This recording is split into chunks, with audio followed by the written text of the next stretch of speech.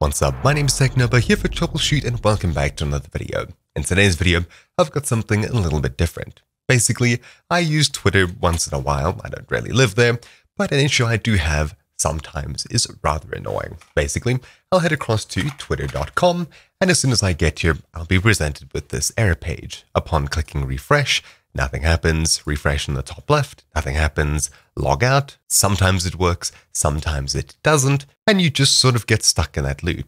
For now, I'll go ahead and log in and we'll see if it works. Ah, yes, it worked this time, though sometimes it doesn't really. Sometimes clicking the logout button doesn't help, or you do eventually log in and you get stuck right back in the same loop. What can we do to try and fix it? Well, of course, assuming you see a logout button and you can click it, Hopefully it'll work and you'll end up in the place that I ended up with everything working promptly again. But if you don't and you're still stuck in some kind of loop on Twitter, the simplest thing to do is to clear the cookies for the current page that you're on, twitter.com, which will in turn log you out and hopefully get rid of that error completely.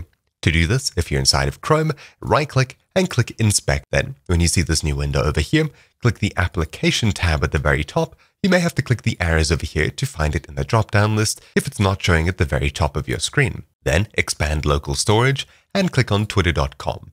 Inside of here, select the first item and then just tap delete until everything is gone from the list. Do the same for session storage. We'll click at the top and tap delete.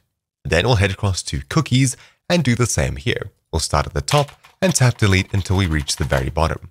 This time, when we refresh Twitter, or at least go to twitter.com, you'll see that we're logged out and we're asked to start anew. I'll go ahead and sign in and everything goes back to normal. If you're using something like Firefox, Opera, or anything else like that, you'll find it in a very similar tab. It may not be named application, but it should be somewhere like that. Something else that can help is disabling ad blockers, tracking blockers, cookie blockers, etc., etc. I use Privacy Badger, and sometimes disabling it on Twitter helps the issue. Same thing goes for AdBlock Plus and any other AdBlock plugins you may have installed. It's very odd and rather annoying when you do get stuck in these loops, but following this simple guide should help you get out of the loops and back to using Twitter as normal.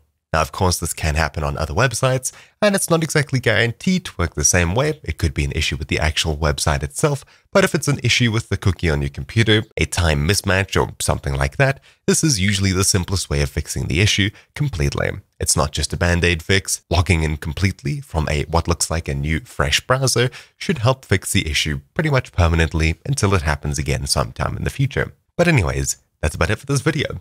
Thank you for watching. My name's been TechNobo here for TroubleChute, and I'll see you all next time. Ciao!